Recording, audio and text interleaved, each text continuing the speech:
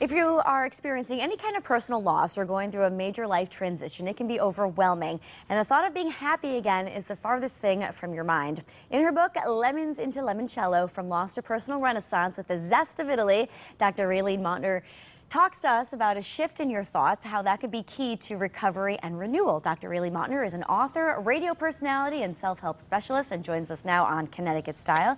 Doctor, thanks so much for being here. Thank you for having me. Right Teresa. off the bat, limoncello is better than lemonade, right? I love it. And you know that saying, when life gives you lemons, make lemonade? Well, limoncello has a little bit of a zest, a little bit of a kick, and certainly the sweetness of Italy. Sure. Tell us a little bit about your background. Well, I, as you mentioned, I grew up in a little Italy here in Connecticut, in Fairhaven, mm -hmm. with an extended Italian family, with Italian relatives all around. And what I observed from them, both their stories and their behaviors and what they did and how they took life as it came, mm -hmm. really impressed me. So much so that later on I studied it. I uh, did my research, a cross-cultural study, and went to Italy many, many times.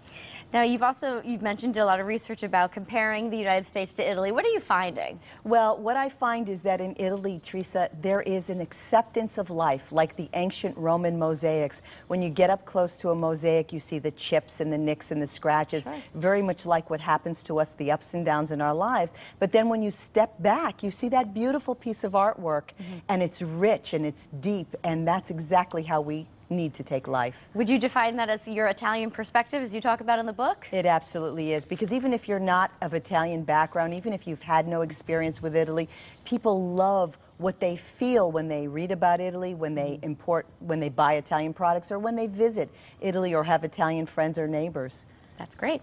Um, and again, uh, let's talk about the title again. It's just, uh, it's just a step up, a step better than lemonade, right? It, abso it, absolutely is. And what it does is it shows you that, yes, you know, you hold a lemon in your hand and you hold a bottle of limoncello in your hand. They're two different products, but they're both the same. There's a continuity to your life, but you can be richer, uh, more passionate about life than you ever thought possible after loss. Okay, so we're going to talk a little bit about the book now. I'm going to try my best with the different sections here. First one is Lascia Stare. How'd yeah. I do? You did very well. I love that. I love your accent, your pronunciation, Teresa. It was excellent. So, lascia stare means when you're first um, faced with loss, mm -hmm. you have to do nothing but let it be. I remember, you know, part of why I wrote this book was four years ago, I suddenly lost my husband of 32 years. And he was, you know, my whole world. And I called my relatives in Italy, and the first thing they said to me was, lascia stare. You don't have to do anything right now. Mm -hmm. You don't make any decisions right now.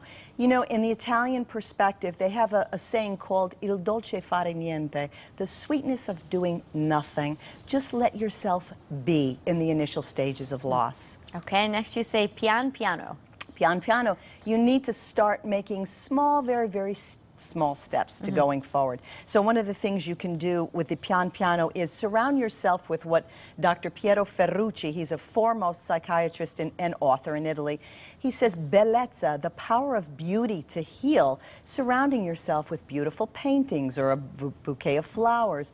Small steps, healing steps surrounding your atmosphere with beauty. It would make a big difference, it that's does, right. Absolutely. Next you say reagire. Reagire is when you begin to react by doing definitive things to start making your life better. One of them, Teresa, in the Italian culture, it's so important to become a regular somewhere, whether it's a coffee espresso bar in the afternoon or someplace you go where you build community and you start feeling like you belong again to part of society, not just attached to your loss.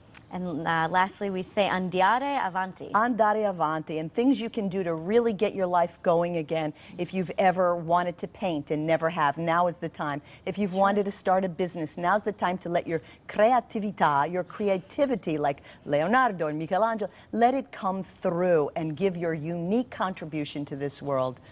Was this the process that you went through? Absolutely. I followed all of these steps when, mm at a time when I didn't know how I would get through it, I yeah. called on my Italian wisdom, what I had learned, what I had observed and studied, and it, it actually came through for me, right. as I hope it will for your viewers. Sure. Uh, you have some upcoming events. Let us know all about them. I do. Well, first of all, I'm launching a brand new advice column, Teresa, in the Italian Tribune, and I'm so excited about that. People can certainly go to my website and send me their questions, raeleenmautner.com. Okay. I also have Ashlar Village coming up, And I have um, RJ Julia, RJ right? Julia as well. You can go to my website and see all the events posted there. And where can we find your book? You could find my book on Amazon, on Barnes & Noble, in independent bookstores, and wherever books are sold. Some great advice. Thank you Doctor, so much. thank you so much. The name of the book again is Lemons into Limoncello From Lost to Personal Renaissance with the Zest of Italy. I love the title. All right, coming up next, Misfit Foodie. Jocelyn Tunney shows you how to start your day with a delicious, nutritious, clean food recipe. When style returns, we'll be right back.